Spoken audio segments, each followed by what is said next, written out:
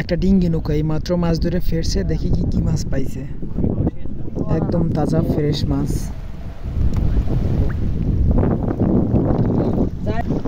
বাসা বাড়িতে তাজা মাছ খাইতে এলে এসব জায়গা থেকে যেতে হয়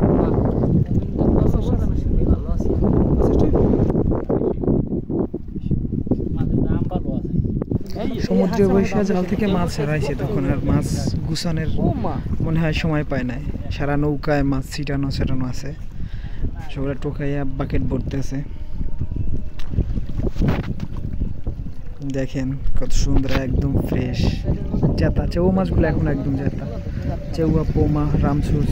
ক্যামেরা কোন ব্যাস বেস এলে না। বিভিন্ন রকমের মাছ এক ধরনের মাছ না। ছোট যাইলে কোন লস নাই বইরে মারি যাবি আমি গ্রাম অঞ্চলে তারপরে একদম ওই যে ভিতরে থাকে তারা সমু- সমুদ্রের পাড়ে যারা না থাকে তারা এইসব মাছ তাদের চোখের সামনে তেমন একটা পড়ে না।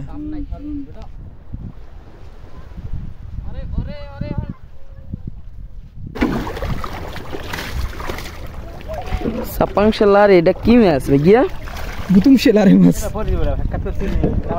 গাবলা গাবলা। মাছ মাছগুলো তো সেই। দেখি ভাইয়া এটা কি মাছ? এটা কি মাছ ভাই? এটা হইল গিয়া বুতুম শেলারে মাছ বুতুম শেলারে